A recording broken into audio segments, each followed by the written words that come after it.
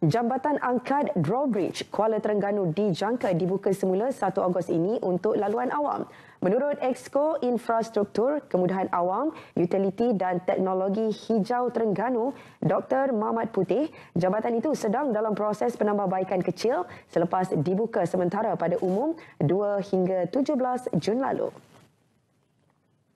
Dr. Mamat menjangka jambatan berharga 248 juta ringgit ini memperoleh kelulusan sijil perakuan siap dan pematuhan CCC hujung bulan ini apabila ia diserahkan kepada kerajaan negeri melalui anak syarikatnya Terengganu Incorporated Properties bermakna satu hebat tujuh ataupun beberapa hari sekitar itu akan siaplah CFC.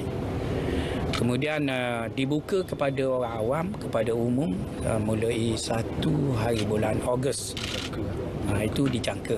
Kita tidak uh, buat uh, ketetapan lagi. Dijangka satu bulan Ogos dibuka untuk uh, uh, kegunaan orang ramai.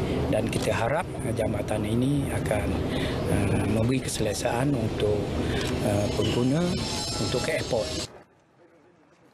Antara penambahbaikan yang dilaksana ialah meninggikan pagar keselamatan dan pembinaan penahan ombak di laluan seberang takir selain pembinaan kawasan parkir kereta di beberapa lokasi kelaluan jambatan. Dr. Mamat sebelum itu meluangkan masa hampir sejam di jambatan angkat ini bersama pegawai ECER DC dan JKR yang terlibat dengan proses pembinaannya.